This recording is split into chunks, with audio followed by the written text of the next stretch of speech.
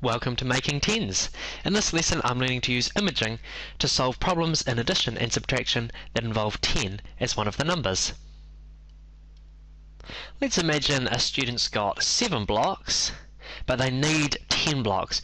So I'm thinking 7 plus what would equal those 10 blocks. So to help me answer this question, you can see down here I've got a tens frame and some counters. And the first thing I need to do is put 7 counters on my tens frame.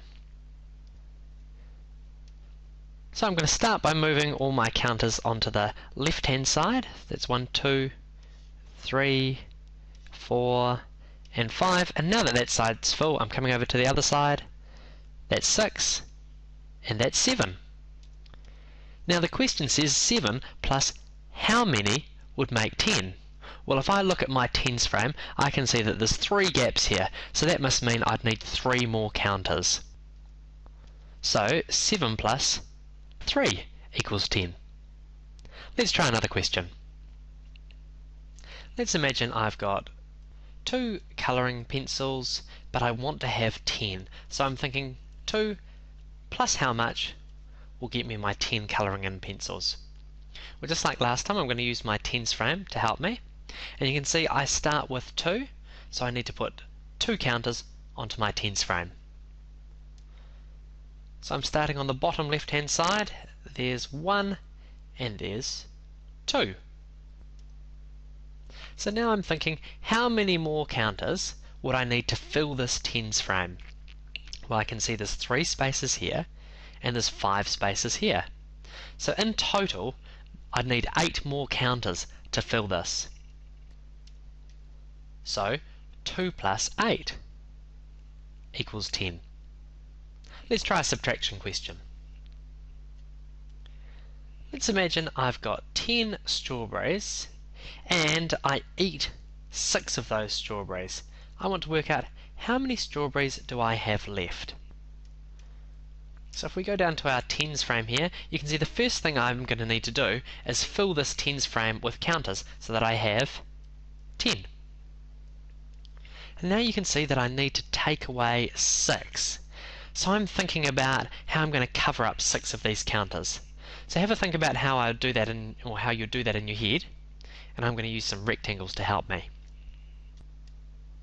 Alright, I'm going to use this rectangle over here to cover up 5 of the counters and this rectangle to cover up one more. So in total I'm covering up six counters.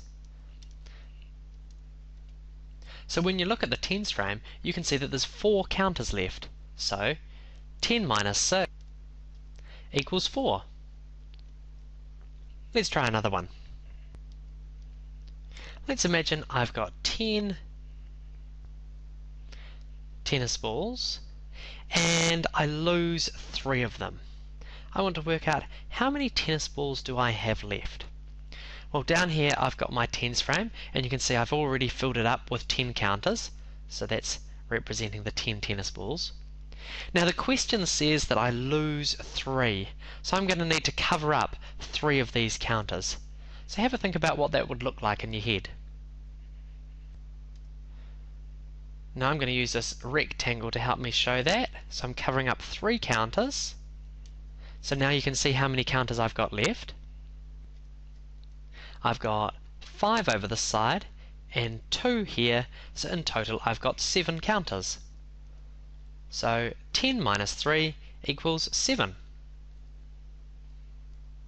Let's try one last question.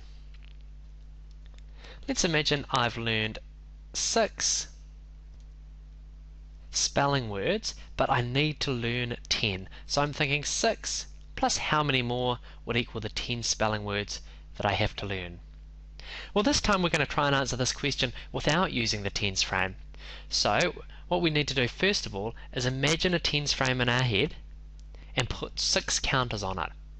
So imagine what that would look like. Now think to yourself, how many more counters would I need to add to that tens frame so that the tens frame has got 10 counters on it? Try and imagine that in your head now.